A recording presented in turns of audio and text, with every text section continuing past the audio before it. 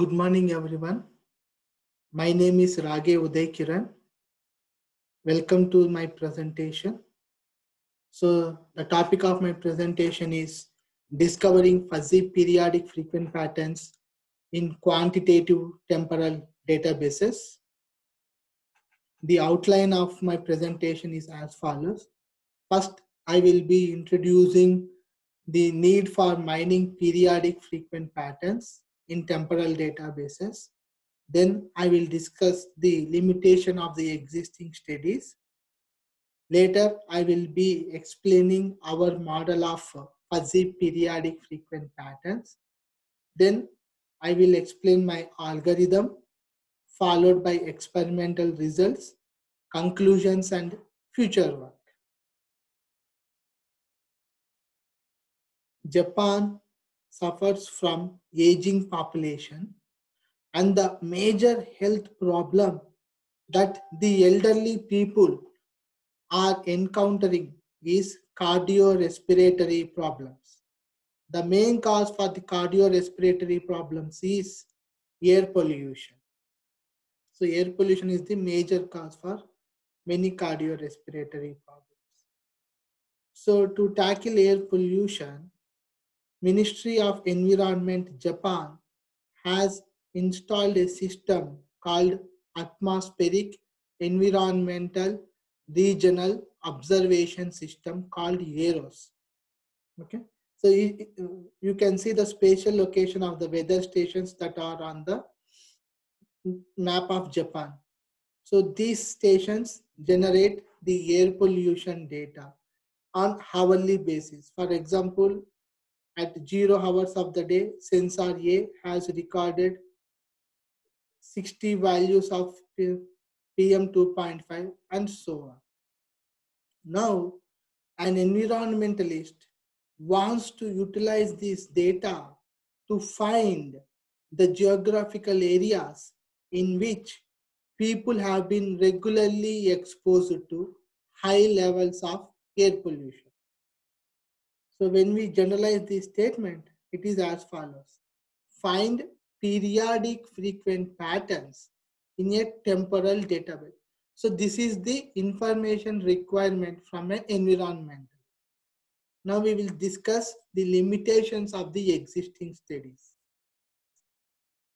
Okay, so the environmentalist wants to find periodic patterns that exist in a temporal database. Okay, let us assume the robot here represents the existing periodic frequent pattern mining algorithm.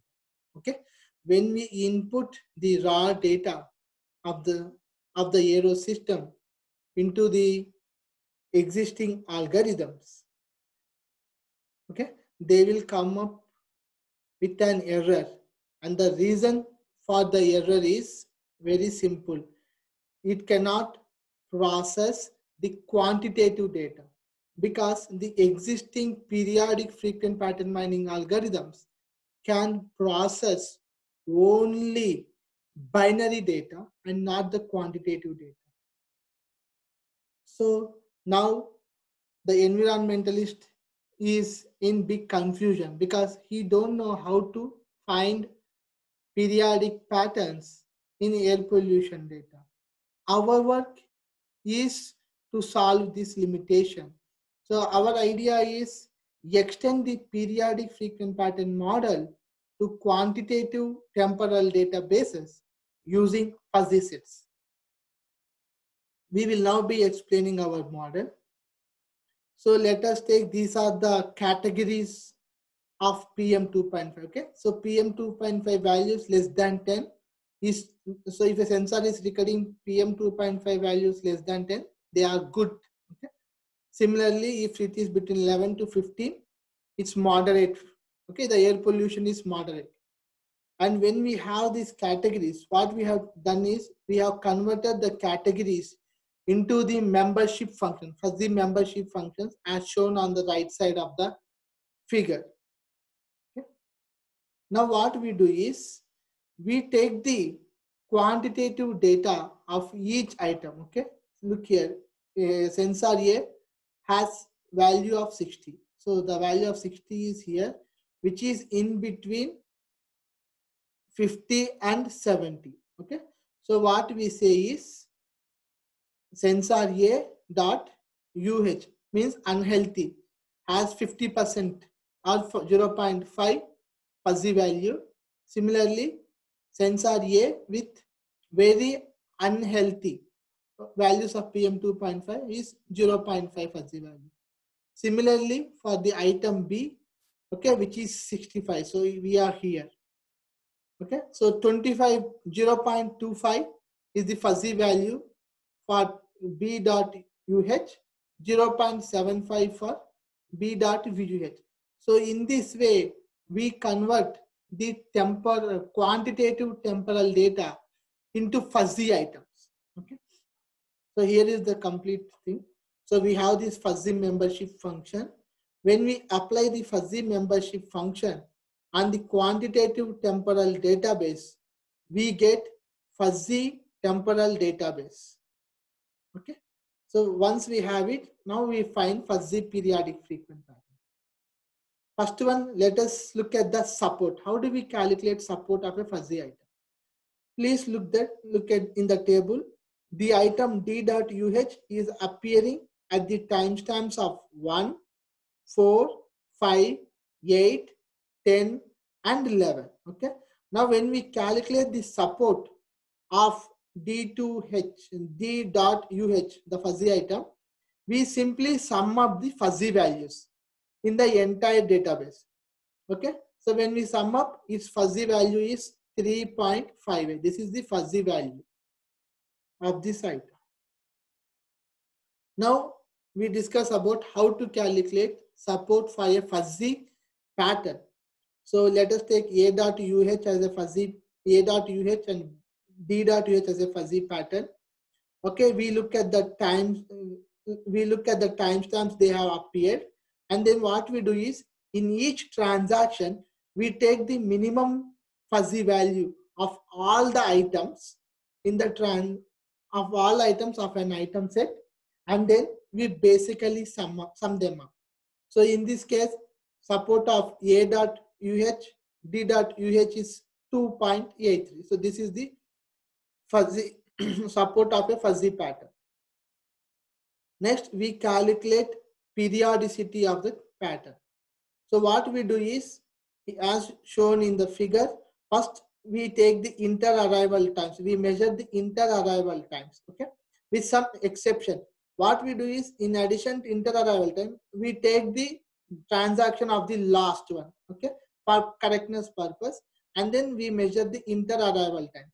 The maximum inter-arrival time of the pattern is considered as the periodicity of that fuzzy pattern. Now we consider a fuzzy pattern as a fuzzy periodic frequent pattern if its support is greater than minimum support and periodicity is less than or equivalent to user specified maximum period okay? So if we say minimum support is 2 and maximum periodicity is 4 then we say that a dot uh d dot uh is a sorry here is a fuzzy periodic frequent pattern and this is the problem definition. So given a temporal database and the set of fuzzy membership functions and the user specified minimum support and maximum periodic constraints, what we have our problem definition is find all patterns in quantitative temporal database that have support no less than minimum support and periodicity no more than maximum period. This is our requirement. Okay, now we will discuss our algorithm. So if we take three items, okay, D dot UH, B dot B dot VUH and A dot UH, the lattice that got generated for these three represents the entire search space. What we are trying to do is we have proposed an algorithm called fuzzy periodic frequent pattern miner, FPFP miner, which performs depth first search on this item set lattice to find all fuzzy periodic frequent patterns in the data. So the algorithm is given in the paper. We request viewers to go through the algorithm described in the paper. In the interest of time, we are skipping the algorithm here. Now let us look at the experimental results. So we have used two real world data sets for our experiment. One is air pollution database and the next one is mushroom database. And the machine we have used for conducting experiments is an Intel i5 machine with 2.66 gigahertz processing speed. The operating system is Ubuntu 18 and the RAM of that machine is 8 GB RAM. So in the top, we are showing the uh, uh, number of patterns that are getting generated in air pollution data set. And in the down, we are showing for mushroom data set.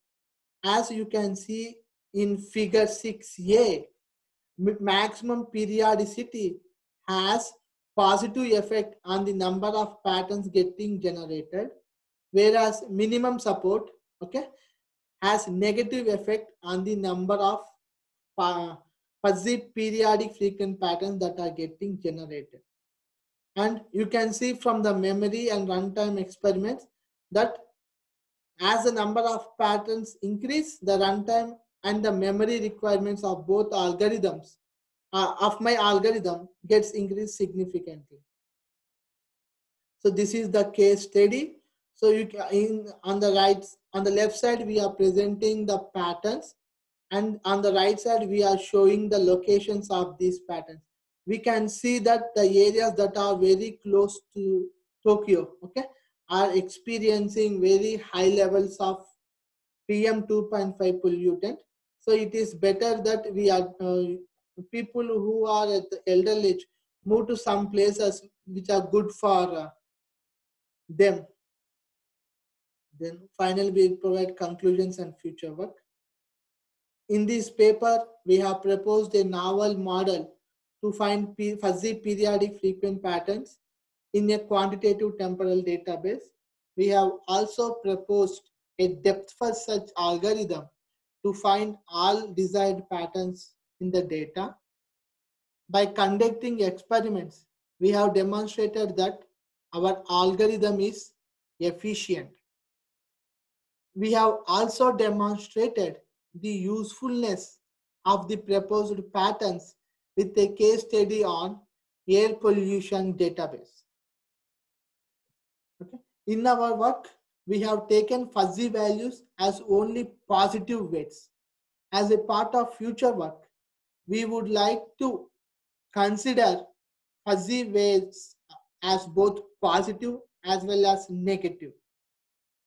Also, we would like to develop parallel and distributed algorithms to find fuzzy periodic frequent patterns. So these two are our future works. Thank you. We welcome questions from the viewers.